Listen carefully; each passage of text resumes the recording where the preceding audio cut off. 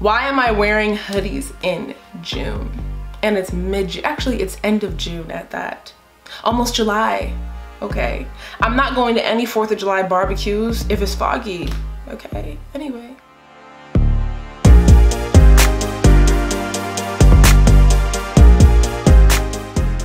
Enough of my weather trials and tribulations. Today I wanted to talk about the pharmaceutical industry. I've been getting a lot of emails from pharmacists, from pre-med students asking about regulatory affairs and I really wanted to explain the pharmaceutical industry where people don't feel they have to go into regulatory affairs because that's the only information being provided. Remember that's what Career Savage is all about, giving people the information they need to figure out what they want to do.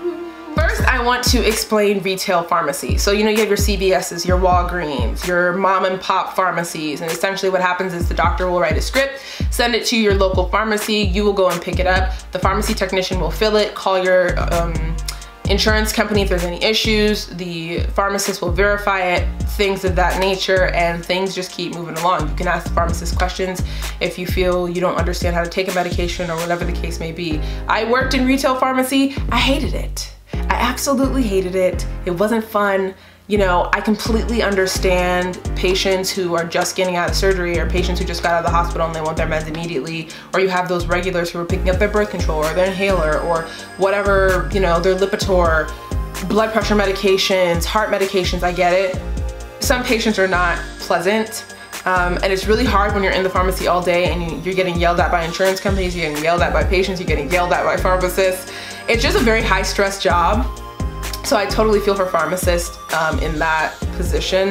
And then there's hospital pharmacy, which is somewhat retail-ish because it's essentially still the same thing, but the only difference is the doctors are writing the scripts and it goes directly to the pharmacist who then um, has the pharm tech fill it and then go give it to the patient or their nurse or whatever.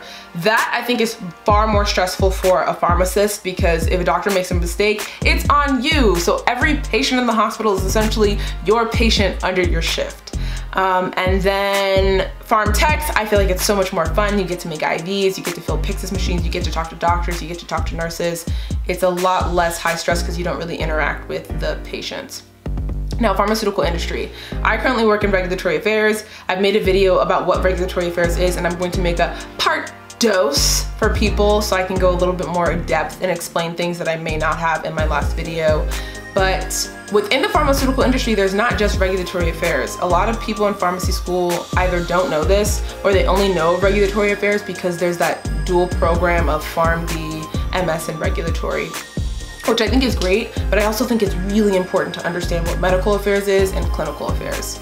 So now I will talk about a little bit of clinical affairs, which I think medical affairs and clinical affairs are somewhat the same. It just depends on what pharmaceutical company you work for. Under clinical affairs, they may have their MSLs, which is their medical science liaisons. They're allowed to go to conferences, they're allowed to go wherever they want and have these off-label conversations with doctors about certain drugs. And when I say off-label conversations, Within regulatory affairs, it's very, very, very, very strict, okay? Whatever is on the label that you have submitted to the FDA for your marketed product is all you are, your sales reps are allowed to talk about, that's it okay? I don't know what size it is, but whatever it is, that's all you're allowed to discuss. And people in the pharmaceutical industry completely know this.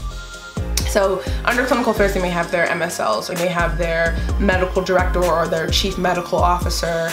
Those people may be involved with figuring out different medications for rare diseases or different medications for blood pressure, common diseases. I think medical affairs, again, it all depends on the industry, the company that you work at, because I've worked for a few and it's all very different.